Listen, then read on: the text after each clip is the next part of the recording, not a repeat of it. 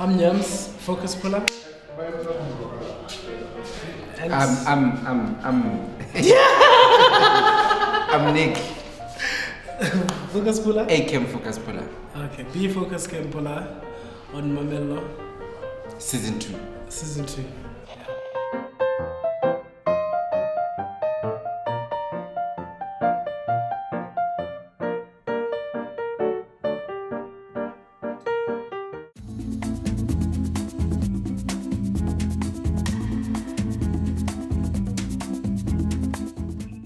To cut it short, I'm I'm just a technician.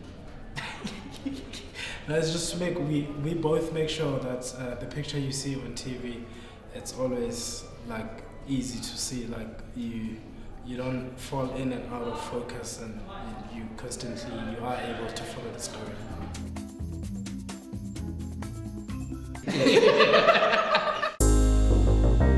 Yo, it's it's it's tricky. It's very tricky. It's it needs all your attention. The maths, the Yeah, science.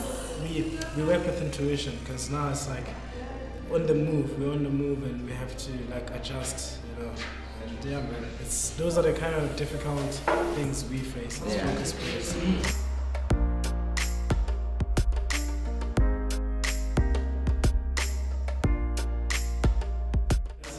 My dad has been in the industry for years, and he does. Yeah, yeah, yeah. yeah, right.